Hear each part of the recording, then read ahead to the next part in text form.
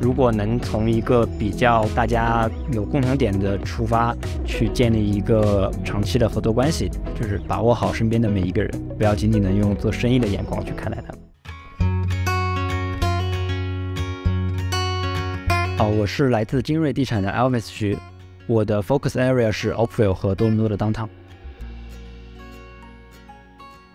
因为我比较喜欢运动啊，我比较喜欢踢球啊、钓鱼啊、射击啊，就是我的很多客户是一些就是有的共同兴趣爱好。如果能从一个比较大家有共同点的出发，去建立一个长期的合作关系，就是把握好身边的每一个人，不要仅仅的用做生意的眼光去看待他们。我喜欢用 agent 这个词，但我喜欢用一个叫做 consultant 这个词，就是你给他的很多建议，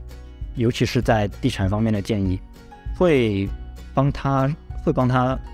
在人生中有一些不一样的改变，就是这也是一个我不想成为一个特别看起来像经济的一个因素。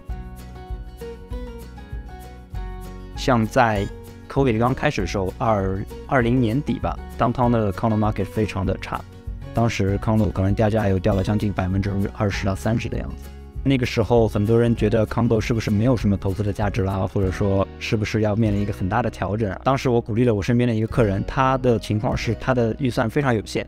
在一个很好的 market 的情况下，他可能只能 afford 一个 downtown 非常外围的一个，无论是面积还是户型都是非常 inferior 的一个 property。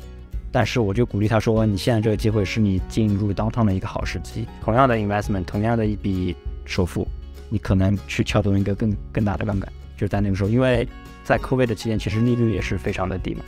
所以我就非常鼓励他。然后事实证明，就是说，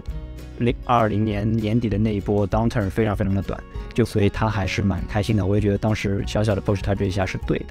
当你用你自己的专业眼光去帮客户实现了一个他的一个小目标的时候，还是蛮开心的。就是我也真的替他开心嘛，就是就是你在，我觉得作为经济在一些。客户犹豫不决的时候，可能就是发挥你价值的时候。